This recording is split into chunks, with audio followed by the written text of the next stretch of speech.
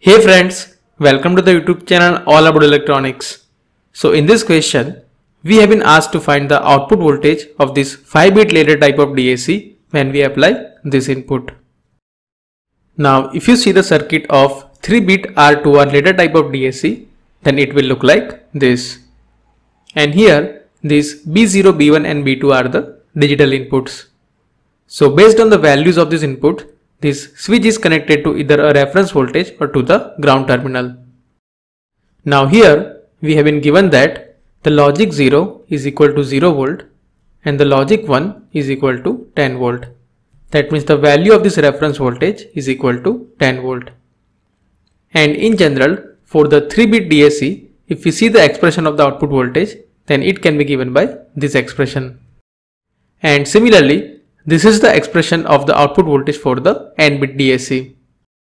Now in this case, the input voltage is equal to 11010. So in this case, for the 5-bit DAC, the output voltage Vout can be given by this expression. Now in this case, this V reference is equal to 10 volt.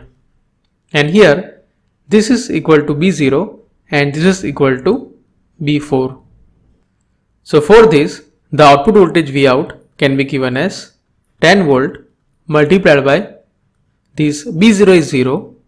Similarly, this B1 is equal to 1 that is equal to 1 divided by 2 to the power 4 plus if you see this B2 then B2 is equal to 0 while B3 and B4 are 1 that means the output voltage Vout will be equal to 1 divided by 2 to the power 2 plus 1 divided by 2 to the power 1 that means the output voltage Vout is equal to 10 times 1 by 16 plus 1 by 4 plus 1 by 2. That is equal to 10 times 13 divided by 16.